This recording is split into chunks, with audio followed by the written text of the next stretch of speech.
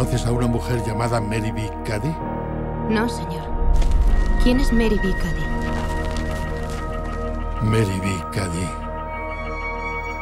fue una gran mujer formidable. Yo. ¿Eres un ángel? No está muerto. Ayúdame. Si corto esa cuerda, ¿hará todo lo que le diga? Claro que sí, cualquier cosa.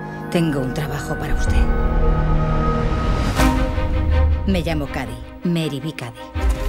¿Y el señor Cady? Vivo sola, algo fuera de lo común. ¿Qué hay que hacer? Tres mujeres han perdido la cabeza. Sus maridos no pueden cuidar de ellas. Nos las llevaremos cruzando el río hasta Iowa. Necesito a alguien que nos guíe y que me ayude con los animales. Es su trabajo y juró que lo haría. Por eso le liberé. Tres mujeres locas y cinco semanas es mucho más de lo que negocié. El viaje será largo y muy peligroso. Así será. ¿Tienes miedo? Un poco.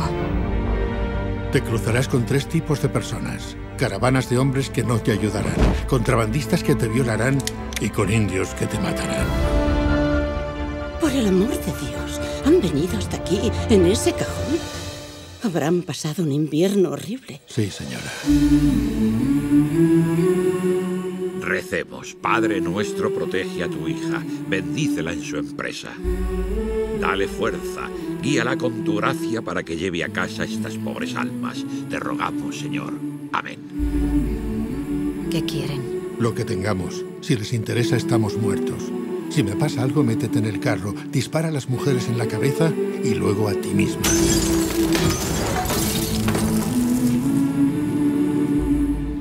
Puede que no se dé cuenta de la buena acción que está haciendo al llevarlas a casa. Si usted no lo sabe, le aseguro que yo sí. Esta podría ser la acción más generosa de su vida.